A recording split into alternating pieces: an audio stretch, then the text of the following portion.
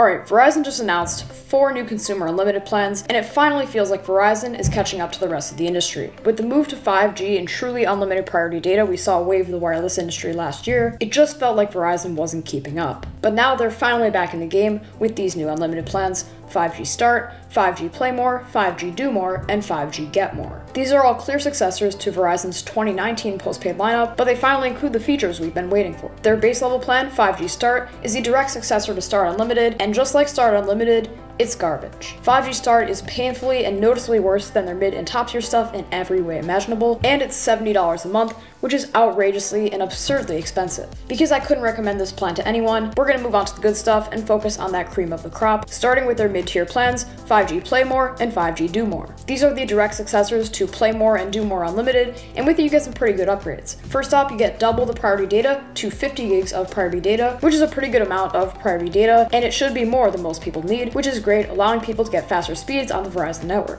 You also get access to both Verizon's 5G ultra wideband and 5G nationwide networks, as opposed to only 5G nationwide on 5G Start, as well as 25 gigs of high speed mobile hotspot data, which is very nice and will allow you to connect your devices on the go. And as another perk included with this, you also get a 50% discount on Verizon's home internet plans. However, these plans do both cost the same price, $80 a month with autopay, and there are some differences between them. 5G Play More includes a Disney Bundle with Disney Plus, Hulu, and ESPN Plus, as well as your choice choice of mobile gaming service. This is a plan geared towards someone who streams a lot of content and might benefit from getting these included instead of paying for them separately. On the other hand, 5G Do More gives you less in the way of streaming and winding back, more about getting work done. You get a free one day travel pass included so you can use your existing plan when you travel to a foreign country, although again, this is only free for a day, and there's also a 50% discount for a connected device plan, perfect for connecting up a tablet or hotspot device. Personally, I think 5G Play More is the better pick for 99% of situations, unless you find no value in streaming perks and absolutely require free travel pass and or a discount on a connected device plan. Pretty unlikely scenario. But finally, we've got the big chungus of phone plans,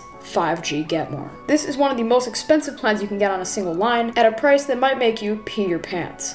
$90 per month but thankfully you are getting a lot for that money. Finally, on their consumer plans, Verizon is offering unlimited priority data. Previously, with their legacy plans and both of their new $80 offerings, you got priority data ensuring faster speeds during network congestion. However, you only got a small amount of this stuff, and if you use it up, you were deprioritized until your next billing cycle. This is thankfully changing. You are now always prioritized, ensuring no slowdowns. And for a lot of people, this is key. If you live in a big city or just want to use your phone in a packed area, you'll likely experience network congestion. But having this always prioritized data can be a real lifesaver when you need fast speeds. And of course, being $90 per month, includes all the perks and extras of both the 5G Play More and 5G Do More plans, along with some excellent features. You're getting the top level 5G ultra wideband and 5G nationwide network access, 50 gigs of mobile hotspot data, and once again that 50% discount on a Verizon home internet plan. But once again, this is exorbitantly priced at $90 a month, and that's with autopay. Without autopay, it's $100 a month. That's insanely expensive, so